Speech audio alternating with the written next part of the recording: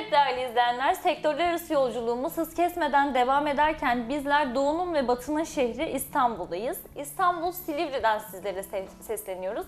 Gayrimenkul anlamında sektöründe öncü isimlerden biri yanımızda oturmakta. Murat Peker beyefendi ile birlikteyiz. Dilerseniz önce sizi tanıyalım. Murat Peker kimdir? Murat Peker, Muş Malazgirtliyim. Ee, Murat Peker, e, Peker Gayrimenkul. İstanbul Silivri'deyim. Ee, gayrimenkulle uğraşıyorum, arsa gayrimenkulle uğraşıyorum. İstanbul'da biz inşaat yaptık, şimdi Silivri'ye geldik. Silivri e, bölgesi e, her tarafı da çok güzel. Silivri Ortaköy, Silivri, e, Kavaklı, Selimpaşa.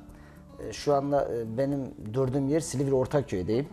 Hem arsa alıp satıyoruz hem de inşaat işiyle uğraşıyorum. Hem de daire alıp satıyoruz. İstanbul zaten her tarafı beton. Biliyorsunuz adım atacak bir yer yok. Hem trafik konusunda çok kötü.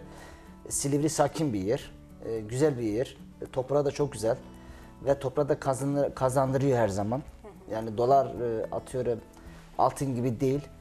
E, her zaman toprak para kazandırıyor. Konut anlamında biz şimdi daire yaptığımız zaman tabii ki onu da reklamı yapıyoruz. Müşteri geldiği zaman yardımcı oluyoruz. Her konumda da daire veriyoruz. Yani her konuda yardımcı oluyoruz. Silivri'nin bütün bölgeyi iyi bildiğimiz için hangi yerler güzeldir, hangi yerler yatırım yaparsan Peker gayrimenkul olarak biz iyi biliyoruz. Çoktan bu işi uğraşıyoruz. 10 senedir bu işle uğraştığımız için nerede neyi ne kazanacağımızı çok iyi biliyoruz. Ona göre gelen müşteriyle e, gay- tanışmasını yapıyoruz. E, söylüyoruz yani mesela hangi mahallede yatırımı güzel olur ona göre söylüyoruz. Onlar da biz de memnun olduk. Bize gel Peker gayrimenkul olarak bize geliyorlar. Biz de yardımcı oluyoruz.